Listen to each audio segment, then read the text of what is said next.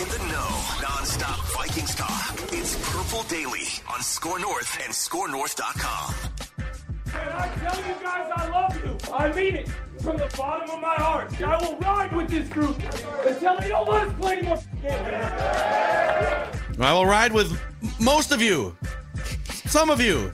When I tell you guys I'm gonna cut you, I mean, I it mean from it. the bottom of my heart. And you'll be effing gone. Adam, Dalvin, Eric. Eric, You guys get the hell out of here. Pat So P. we gave you, uh, we gave you, if you haven't listened or watched already, a breaking Dalvin Cook episode here on Purple Daily and a scoop session on Minnesota sports with Mackey and Judd and the SKOR North YouTube channel with Doogie. Just some information about the Dalvin Cook news likely to be released in the next 24 hours or so. So all of that covered. It's funny because the initial plan for today, and we're sticking to it with this episode, was to react to the latest Danielle Hunter stuff, which we'll dive into here in a second, presented by TCL. No matter what you watch, TCL has award winning TVs for any budget, any space, all with stunning picture quality. TCL makes more than just TVs, they offer mobile products, audio devices, home appliances. TCL brings you joy and simplicity through innovative technology. Learn more at TCL.com. So, uh, Danielle Hunter, if you've been consuming this podcast on a regular basis, the news that came out yesterday is not shocking. We have prepared you for this since when, Judd? Like Oh God. January? Yeah, four months, five months. I think the day after the Vikings got bounced by the Giants, we did an off-season checklist episode. So January 15th or 16th or something. And one of the things I believe on that list was Danielle Hunter has a base salary of like $4.9 million. Yeah. He ain't going to play on that. So you're going to do the, the contract tango at some point. It's been super quiet on that front. February, March. April, May, yeah. And then Ian Rapoport comes out from NFL Network yesterday and says the Vikings are receiving trade calls centered around star pass rusher Danielle Hunter, and the interest is real, sources say. So we kind of thought, boy, maybe they're quietly working on a deal behind the scenes. The fact that this hasn't come out at all before the draft or during free agency, that maybe they're just all on the same page. But this comes out for a reason. I don't think this comes out if both sides are on the same page and close to a contract, right? This type of thing comes out if there's a gap and one side or the other wants some movement. So, what did you make of this when you saw finally, after months and months, the Neil Hunter thing starts to leak out as a big time talking point? So what I made of this was saying, what took them so long?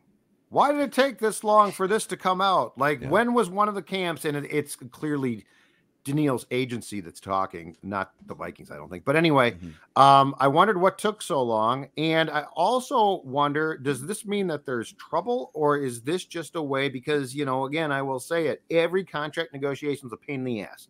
Like, Justin Jefferson won't be smooth. I guarantee something will happen or has, who knows. And Danielle Hunter is not is not going to, to be smooth. Does this mean though that the Vikings are actually getting calls and entertaining offers? And what Rapoport talked about is true?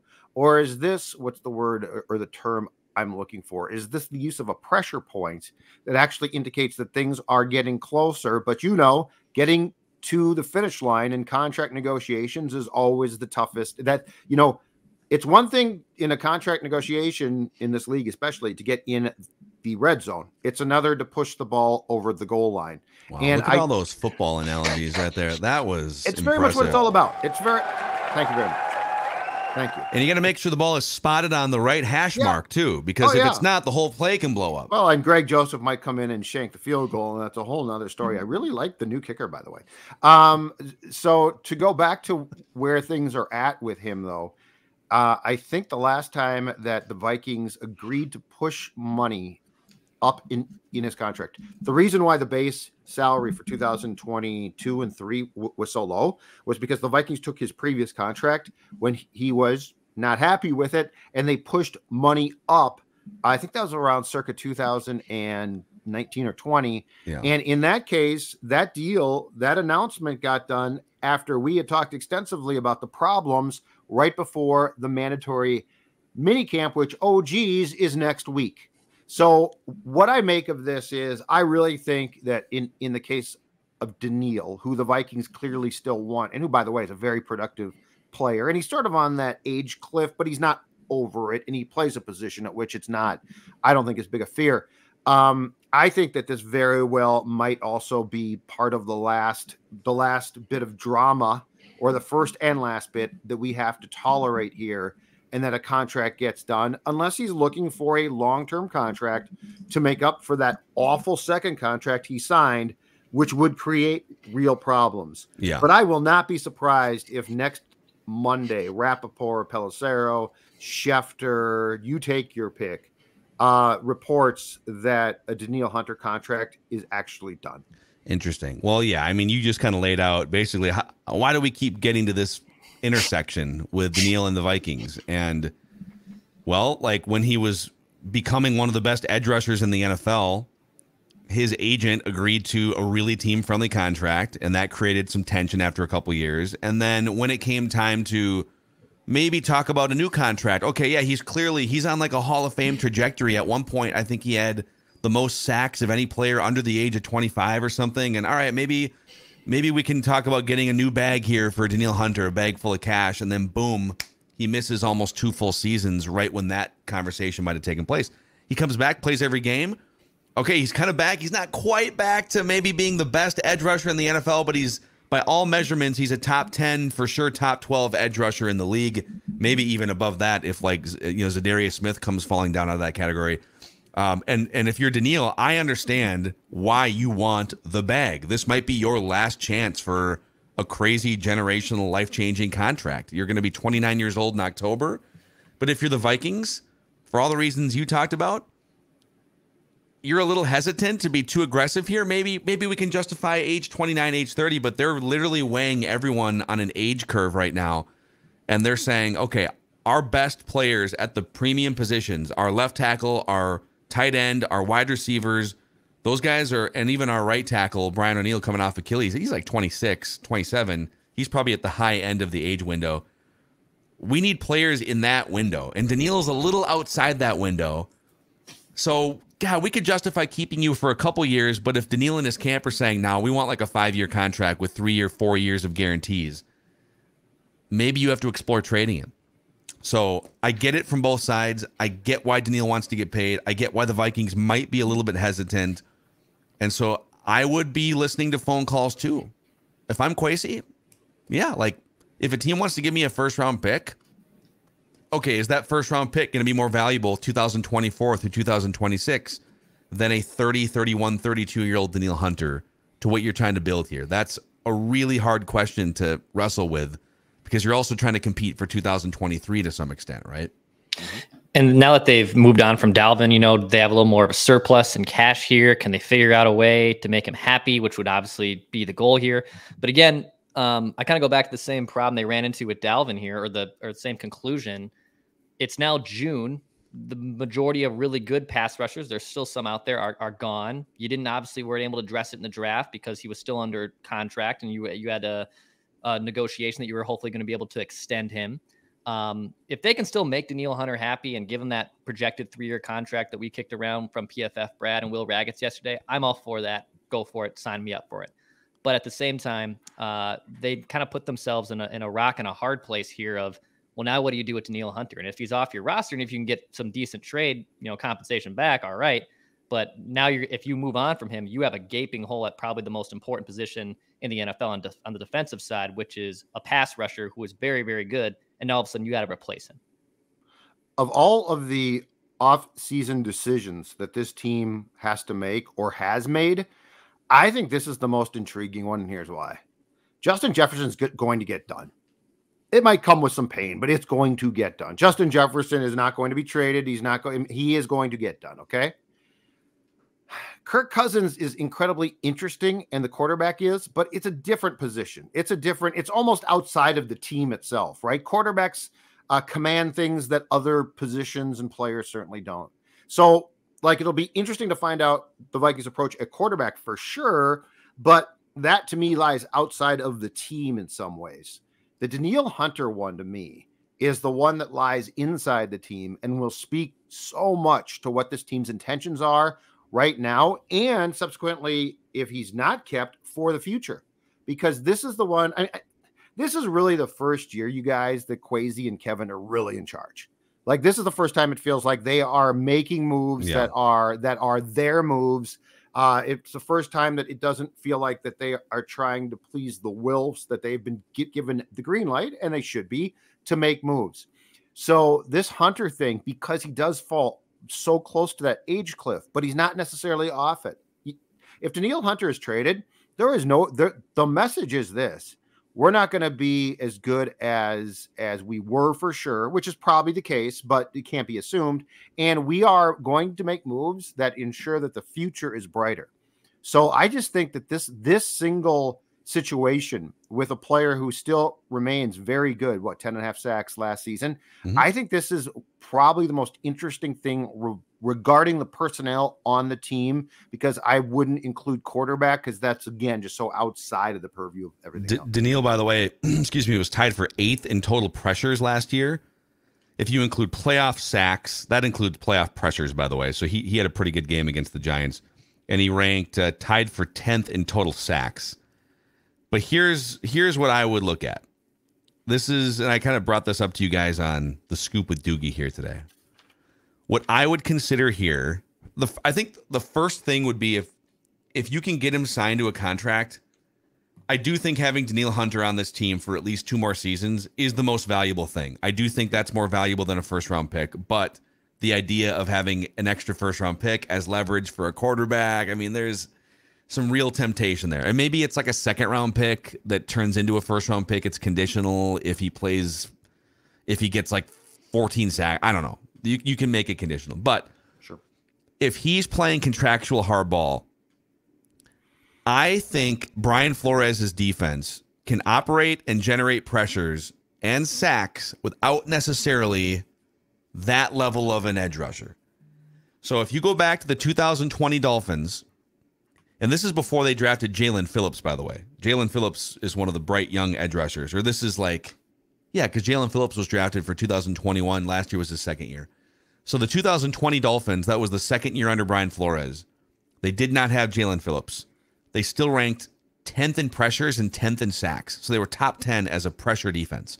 Nobody on that team had more than 9 sacks. It was the it was the scheme and they have good players, but like it was the scheme and the aggressiveness that led to the pressures and the sacks more than just one guy doing all the work off the edge. And then they draft with their first round pick Jaelan Phillips. 2021 Dolphins jump up to top five in pressures and top five in sacks. But again, no individual defender on any of those Dolphins teams had more than nine sacks. So could you say, all right, Marcus Davenport's inside the door. He should take a step forward. He's younger by a couple years. Brian Flores is in the door. You're younger, faster, and have a more aggressive defensive scheme. Therefore, you're less reliant on Danielle Hunter if a team wants to offer a conditional first round pick, a second conditional first round pick, maybe like a fourth or a fifth round pick as a second piece, you make that trade. And then, and Declan kind of alluded to some of these guys. You go get like a 34 year old, a one year contract for Melvin Ingram III or a Justin Houston. Here's the crazy thing about some of these guys that are still available in free agency pass rush win rate, okay? Pass rush win rate. Win rate. Important. Very important. This doesn't mean you completed the sack, but it's did you win your matchup? Did you beat your block? Okay. Mm-hmm. Marcus Davenport was ninth last year among edge rushers in pass rush win rate, just behind Jaelan Phillips, Za'Darius Smith, who was very good, Micah Parsons, Nick Bosa, and Joey Bosa, and Myles Garrett. That's what the Vikings see. They see pass rush win rate. Can we Right. convert those and finish those? Mm-hmm. So they're banking on that. Danielle Hunter was tied for 18th, just behind Justin Houston, available in free agency still, and just ahead of Melvin Ingram, available in free agency still. Now those guys are in their 30s and they don't they're not like every down guys. Those guys would be more third down. You're gonna mix you're gonna mix them in. Patrick Jones would see some snaps, would be part of a rotation. Mm-hmm. But they wouldn't cost you much money. They'd be one year contracts. You could still compete in 2023 without having to worry about maybe overpaying Danielle Hunter, who I don't even know if he's out of the injury woods yet. He just missed almost two seasons. We haven't even talked about that angle. I would explore that whole thing that I just laid out to you guys. That's intriguing. What I would say in Hunter's defense, though, is that he, he still was what tied for 18th in pass rush win rate, and he had 10 and a half sacks, and he was not used correctly. Well, I mean, Um, but he was still a he was a pass rusher at the end of the day. No, but I mean, he was still. There's so many different ways. I mean, Brian Flores is going to have different ways.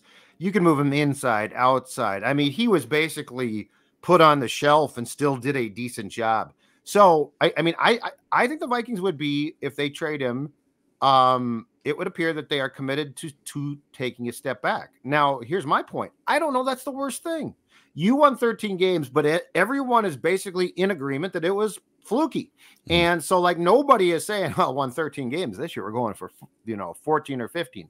And ultimately, the goal is a Super Bowl. So, it's my opinion that you need to look at not what's best for individual players, not how much, you know, how many fans have 99 jerseys. The smartest thing that you have to do is examine what is your intention with this team. And if they say, if Danielle Hunter says, I need a five year contract, and the Vikings say, we can't do that. In fact, we won't, then yeah, let's trade him for uh, you know, if you're crazy, trade him for a second round pick that becomes a conditional first if he gets X amount of sacks. So that's the thing though that intrigues me so much is we don't know what the answers are yet. We Mhm. don't know what they're going to decide. You know, with Rick Spielman, we were pretty damn sure Danielle Hunter was going to get that contract and not be traded. Now the door is open, and if you can open the door and say, "Yeah, okay, we traded him," and in fact, in 2023, we took a step back, but now we got a first round pick potentially, and now we could package that first round pick with our first round pick and a third round pick, and move, you know, so there are just Yeah. thi- this is one of the, I think this is one of the most interesting times that I can recall from following this team as far as the unknown and what they're going to do because you know not surprisingly at the end of it all rick spielman was pretty damn predictable because we had seen him operate It is funny seeing Rick Spielman now on like all these media platforms. He was doing Sirius XM, NFL radio this morning, talking Oh, about? Dalvin, and yeah, I'm seeing stuff come across Twitter. He's got his TikTok channel. He's like all these big Vikings moves. Rick, what are your thoughts? I love these players. Dalvin Cook, one of the greatest draft picks in NFL history. yeah second round i we stole him But I think I I just like back to the injury thing for a second. Are we sure as we weigh the pros and cons of a Danielle Hunter contract extension? I mean, he slept wrong on his neck once and missed a full season. And then he what did he tear. 2 years ago? I'm not like mocking him, I'm just saying nah, are we sure that he's all all of a sudden he's just back to being durable after 1 year? That's another thing to consider here. Absolutely, it is his age and his and, and the fact that he essentially missed a season and a half between those two separate injuries are definitely things. And you know what? The Vikings might decide it ain't worth it. It's too it's too big of risk. And if they do, and if they get a conditional first back, okay. But it is it's just going to speak to their intentions because what was interesting is I think somewhat out of the control of the football operations department a year ago, their intentions were extremely clear. Let's take Zimmer's team and prove that we can win. And they did. But now this is the first time that really O'Connell and Kwesi have the keys to the cars. Mhm. And so, like, that's where I'm just curious. And I'm not even looking to be critical. I am looking to see what they do. What if I could guarantee you, just for this, should they trade him, should they not? What if I could guarantee you a first round pick in next year's draft, which, by the way, has two of the great young Yeah, starting prob- I'd- quarterbacks we've seen in 10 years? I'd do it. Sign me up. Yeah, if I can get a first round pick for him, yeah. Mhm. And it would probably be a late first round pick because a team, a, it would be a team that's like looking to win a championship. Yeah, but I right? can take that in my first round pick. And again, if I trade him, I'm probably going to be I'm probably assuring myself if if there, there was a war for Hunter, what's his war?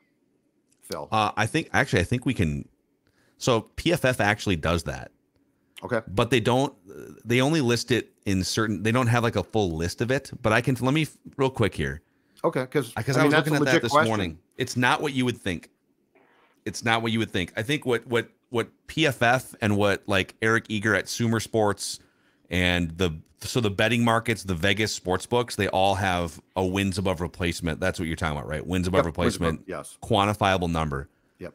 And what you'll find here is quarterbacks move the needle one, two, three, four wins above replacement.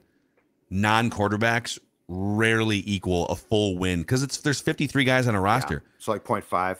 So we tend to overestimate. Oh my God, if you were to replace, let me look at when we were talking Dalvin Cook on the other Purple Daily episode, and Declan brought up the year early in Dalvin's career where Dalvin goes down and and Latavius Murray and Jerick McKinnon replace him. Mm-hmm. Oh my God, you're replacing one of the best young running backs in the league with a couple sort of like like a backup and a journeyman. Yeah, and it wasn't it wasn't like your win difference was five wins because you lost Dalvin Cook. So PFF in their free agent rankings, they do list wins above replacement.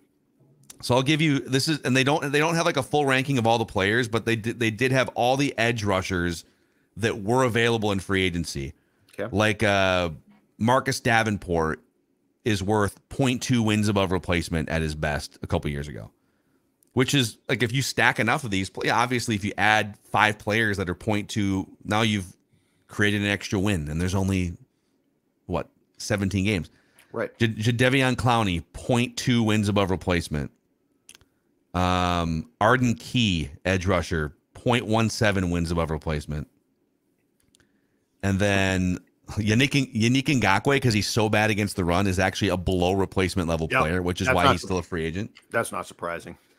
So if you go to, let's go to quarterbacks, because I think I think Lamar Jackson was the only one. We're again, we're only going to see these numbers on the uh, free agents that were available at the beginning of the year because they don't list this ordinarily. So Lamar Jackson, when he plays a full season, is worth like one and a half to two wins above a replacement quarterback, and that's why when you bring Hundley in, Hundley is like a replacement quarterback. You bring Hundley in, it's not a total disaster. You're definitely not. Instead of 11 wins, you're going to win nine or whatever. Right, but it's not the end of the world. The way Geno Smith played last year, he was a three wins above replacement quarterback. Yeah, that's not Really good. Yeah, that's really really good. It's not going to happen again. I don't Derek, think Der- Derek Carr at his best a couple years ago was a three win above replacement quarterback. Last year, 1.2. So he took a big step back. Okay, so Hunter would be probably A quarter of a win above replacement. yeah, yeah. So yes, if you can get a first round pick, I'm doing that. Now I now we're late enough in the off season, and teams are going to know that the Vikings are struggling on a contract with Hunter. So I don't know how much that potentially drops your leverage. But yeah, if you if you tell me that I can get a first round pick, and I don't care where for Hun- Hunter, Mhm. I make that trade. I think you have to. Yeah. And and again, it sets you up. Yep. So let us know. Yeah, let us know in the comment section. What do you think? I mean, I know there's some fans that are just adamant that Kwesi is a blithering idiot for even considering. Well, what do you think of that? Let's let's let's dive into that in a second here. Now that Dalvin's gone and this idea of trading Hunter, the Kwesi referendum, and then we'll get to a random Viking of the week. But uh, a quick shout out to our friends over at Power Lodge and Miller Marine.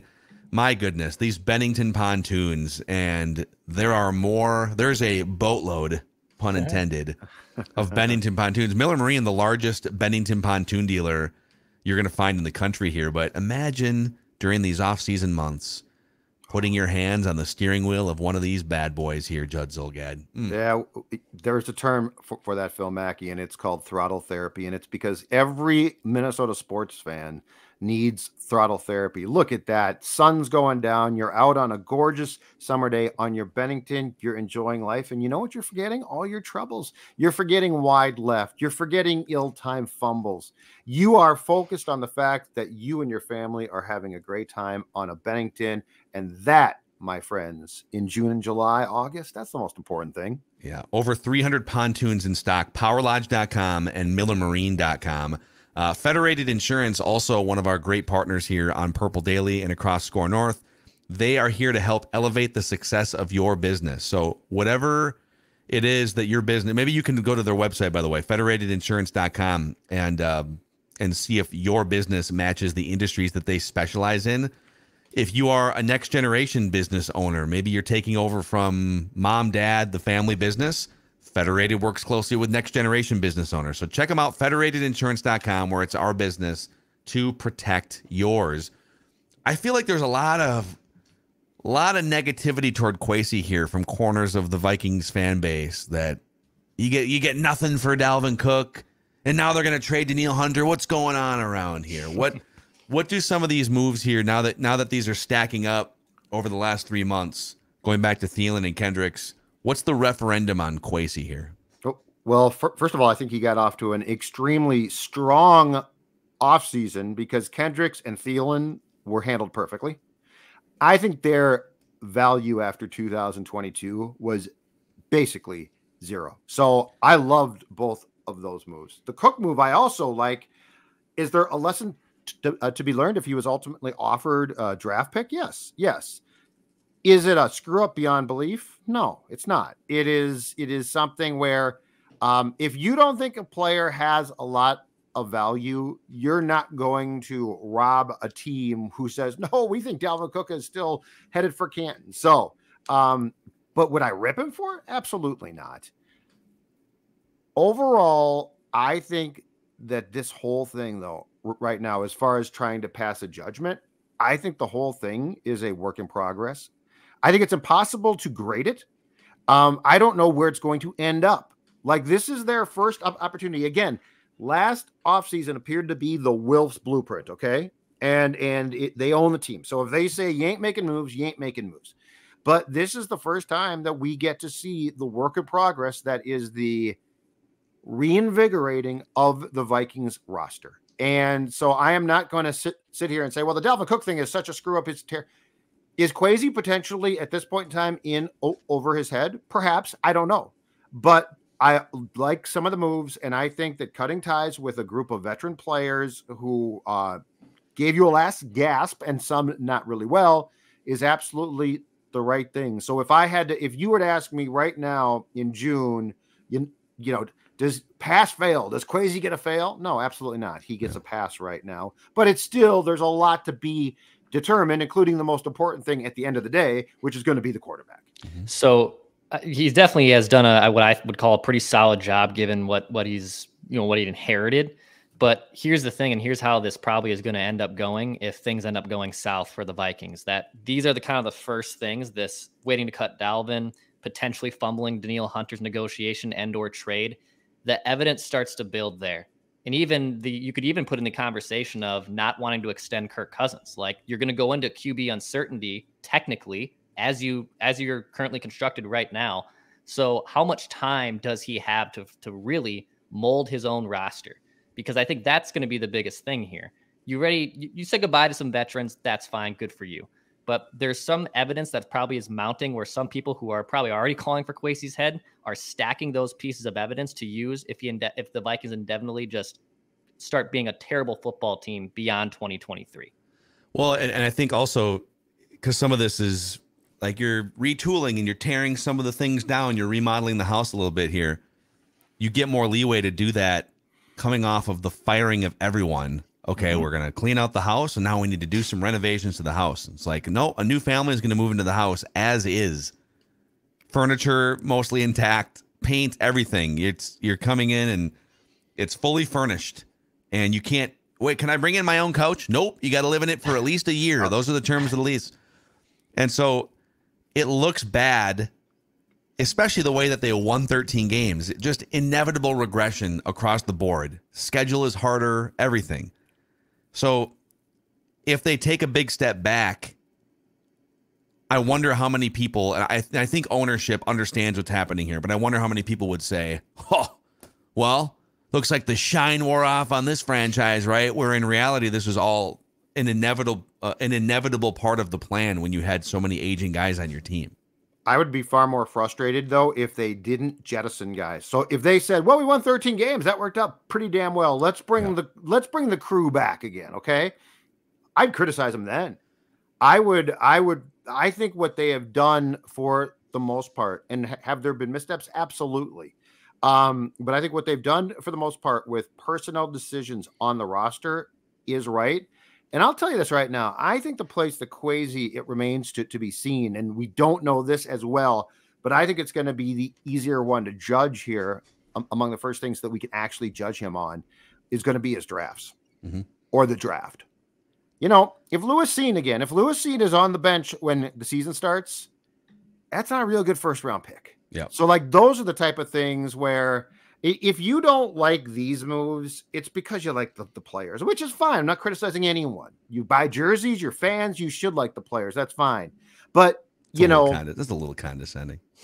It was a little. I'm just saying, I understand if you bought if you went out and bought a number four Dalvin jersey for one season, you did it because you're a fan, because you love the team. But the reality is this: he's an aging player, and even if he has a good year, like Dukes keeps saying that he thinks that Dalvin Cook has one really good good year left. Mhm. I I don't care. Like I'm not going to say, God, did that screw the Vikings? Because the reality is, if you are on on our before I die track of winning a Super Bowl before we, we die, it almost certainly is not going to be in 2023 or that season, right? It's going to be built up in the next couple of years. It could happen build it the right quick, way. But Build exactly, the right way. exactly. Don't run things back. Part of building it the right way is not paying linebackers and running backs a lot Yep. of money, Yep. unless you're just really lucky with some of the other positions. So I love the focus on pass catchers, bringing in Hockenson, drafting Jordan Addison, having Justin Jefferson. I love the focus on buying low on an edge rusher and Marcus Davenport. Like I, I see what they're doing here, and I read these tweets on the live scoop session with Doogie here, but I think it's relevant for the Purple Daily audience in case they didn't listen to that episode. I align fully with what PFF Brad tweeted this morning. And this is this is what we've been saying for 6 months. And he articulated it very similarly here said Vikings and Kwesi know that their 2022 record was fraudulent and instead of doubling down they are asking would player X meaningfully contribute in 2024 and beyond. This is exactly what we've been saying, which is bank on regression. The way you won those games, you don't have to apologize. You don't have to give them back. It was a super fun season, but prepare as if you are an eight win team instead of a 13 win team and be objective about it. And think about the horizon. Don't just be operating in a vacuum for 2023. Would player X meaningfully contribute in 2024 and beyond? If the answer on an expensive player isn't a resounding yes to that question, they're moving on. Dalvin was clearly not a yes. Hunter, He's in the border. Yep, God, the he's right there, man. Yeah, he's and guy. maybe because he's right, maybe because it's not a resounding yes. Is he going to help you in two years from now? Probably, Yeah. but this is What- what they're wrestling with. And don't forget too, we have, and so th- this provides the ultimate curveball in in decisions. Though there are in front of Brzezinski and Kwesi, there are what four, three or four contracts in which you're going to have to make decisions. Justin Jefferson is going to get paid, and in two years that's going to kick in, and that's going to probably be at the time the highest paid contract to a non quarterback in the entire league. TJ Hockenson wants his. He probably deserves that too. So, like as, as we go through all of these potential contracts, the question be- becomes this: um, Do you want to put yourself up against the cap again, and with whom do, do you want to do it? And that's where Hunter also provides a little bit of a problem here, because if he wants three years or four years, and now you're going into the Justin Jefferson contract, well, like something has to give. Yeah. Yeah. And the other tweet here from Joe Banner, who Joe Banner helped build the Eagles into a really good team. Crusty old guy, Crusty old guy. You probably covered him a little bit Joe Banner. Around the NFL. So he has a Great. Twitter account. And this morning he said, Not every move the Vikings are making will be right, but the approach is what every turnaround that had significant long term sustained success is the model they are using. So yeah, it's it sucks as a as a fan if they wind up having to say goodbye to favorite players, Dalvin Cook, maybe Danielle Hunter, but if it's all putting chips on the on the window of 2024 to 2026 because that's when Jefferson and Hockenson and Darrisaw and maybe your future starting quarterback are all rising up, then that's what you have to do. And since for the time being, Hunter is still here and very well might be signed to an extension, I don't think there's any veteran that the Vikings have parted wa- ways with that I have any criticism about. Thielen, good move. Kendricks, mm-hmm. good move. Pat P, you're going to play man coverage. You're going to play man coverage. Pat, Pat Pat P is not playing man coverage, and that guy would have been burned consistently. That's a good move. And Dalvin ultimately is a good move. That contract had to come off this roster. Yep. So Are you guys ready for a random Viking boy. challenge here? Absolutely. Judd versus no. Actually, what I've done here is for the first time because now that Judd on uh, Minnesota Sports with Mackey and Judd, our other show, now that Judd is doing clues for the random Minnesota athlete, we're going to start having Judd do clues. So losers out every week. Losers out. So I was the loser last week, which means I give you guys the clues. Declan rule. So historically, I've separated these out here too. Judd 53 wins all time. Declan 24 wins all time. I have eight wins all time. Uh, I started kind of like three quarters of the way into this Yeah, excursion, you- so I got some catching up to do. Yeah, you're absolved. I'm still not performing very well though. I haven't had a win in like two months. So No, you're struggling, but I mean, you you did start. I, I think it was Declan against uh against me for a long time with you Mhm. being the clue master. So eight wins is pathetic, but it's not as pathetic as it looks because you didn't start. So I am absolving. my last win was Dwayne Rudd like several weeks ago. Damn, I should have got that. I should have beat you on that one. That was me. I fell apart. A few of the more recent random Vikings include Brad Johnson, Fred Smoot, Greg Lewis, Mike Tice, Javon Walker, JT O'Sullivan, and Anthony Carter. So I'm going to give you guys a series of clues. You get up to three incorrect guesses each until you are eliminated. You can shout out answers whenever you want to. Uh, you can ask me questions I can refuse to answer if I want. This is presented by our friends at Meadows, by the way. The Meadows at Mystic, Declan. You know, I've been talking about how great that pro shop is, so I figured, okay, I would I would actually show you a video of what that pro shop looks like. Look at you got you got hat options, you got new Look shoe this, dude. options. Okay, I've been telling this pro shop's not your rinky dink pro shop that has a couple Oh. sleeve of balls. This has a legit apparel option. They have tons of different stuff in this pro shop, and obviously with Father's Day uh, coming up here, you should go to golfthemeadows.com. Uh, and see those tee times, but also you can get a frequent player card. You know, if you're like me and you're always looking for tee times, like basically one, once Monday starts, I'm looking at next weekend's tee sheet. Well, you can get access three weeks in advance with the frequent player card. You can get this and more at golfthemeadows.com. Go to golfthemeadows.com to learn more. All right. This random Viking hails from Kansas City, Missouri, originally. This random Viking played college football in the Big 12. Okay. This random Viking once reportedly overslept and missed a team photo. With the Vikings,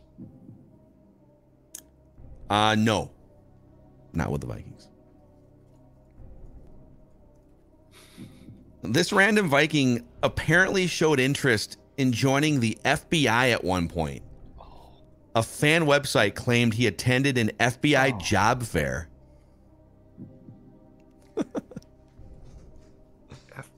FBI. FBI. Yeah. Big Twelve. I remember something. Yeah. Declan, you got a you got a guess? Yeah. Do it, Uh, Dex. Guess, Dex. Do it. No, I don't. I don't know the player yet, but I remember this fact. I do too.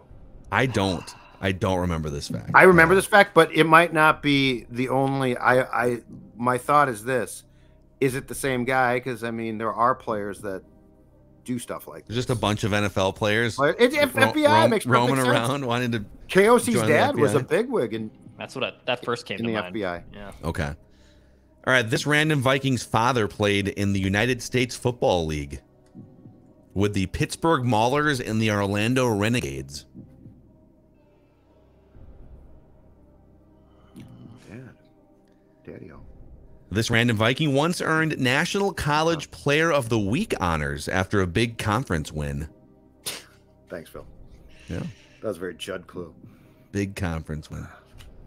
Father, This random Viking ran a 4.97 40 yard dash at the NFL Combine.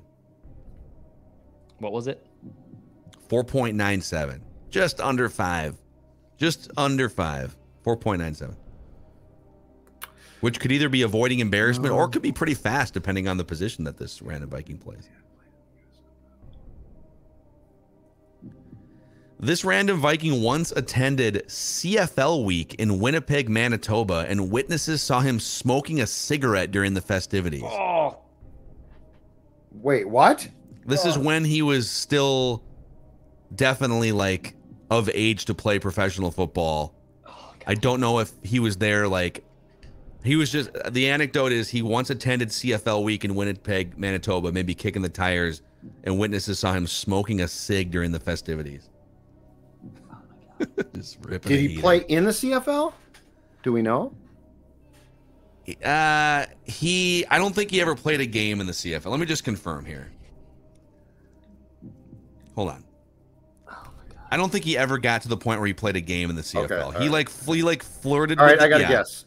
He was an off-season or practice squad member of a CFL team for a cup of coffee, but he never got into a game. I've I've got to guess. I've had this guy in mind for I don't know why he always comes to mind, but he, I think the I think he fits the profile.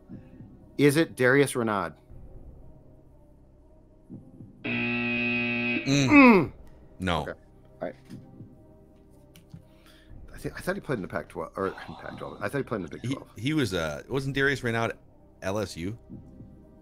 Maybe. Yeah. I mean, I just. Okay, so I I don't know why I know that. If that's true, then I deserve. That- That's great pull if you know that. A lot of facts being pulled out here. Ah, you're right. He was West Virginia. It was another yellow, a yellow team. CFL week. Smoking a cigarette. Okay, uh, this random Viking of the week was a first round NFL draft pick, But not by the Vikings. not by the Vikings. That FBI thing happened in 2020, by the way, where he was he was at the FBI job fair in 2020. Oh my god. I vaguely remember. I that this is the same guy. Then oh come on, Dex. Guess. This random Viking played 62 career NFL football games, which really isn't that much for a first round pick. I'll take a stab. I don't think we've used this guy. Is it Josh Freeman? Woo! Oh, oh, wow! Oh, this is a heater of epic proportions. Wow. Declan, five consecutive wins over Judd with his Josh Damn, Freeman have got. I guess. should have known you like to do quarterback. Wow. All right, I'm doing clues. Amazing, dude. So, yeah, my only other clues were that he played one game with the Vikings and once led the NFL in fourth quarter comebacks with five in his, I think, second season with the Buccaneers. So, I should have known you. You love quarterbacks. oh, Dang, they're the Gunner. most fun. Yeah. Josh Freeman. Good a job. Dex. one-time, one-game Viking, a disastrous Monday night game against the Giants, in which Oh, uh, no, no, man, no I- bird was safe. I bought some stock in that move. I thought that was going to be great. Spielman loved it. Rick loved that guy when he came out in the draft. did- and they just put That's him right, in a game State. as a starter a week after they signed him. Yeah, just a total disaster. Oh, that's how bad Ponder was, right? Was Ponder healthy that week? Just And then Cassel was on the team too. Kansas State. Yeah. Yep. So there you go. Random Viking of the week, Declan with five straight wins over Judd. As We'll try and change that next week when I am doing the clues. So yeah, Judd will do the clues next I week. get to do the Take clues a next seat, week. guy. That's Yep. right. Yep, this is uh this is gonna this uh, I'm gonna be throwing fastballs a week from today. Awesome, man. We'll send you the list because obviously, like we've done Yeah. I'm gonna pick up Almost- Viking we've done 85 of and let these. You two flail away. All right. It's 40 minutes in. Yeah. Judd's offered 100 clues. I don't know, Judd. It's the left guard from 1963. It sounds good. All right. Thanks for hanging out with us here. Purple Daily, Daily Vikings Entertainment. We just want the Vikings to win the Super Bowl before we die.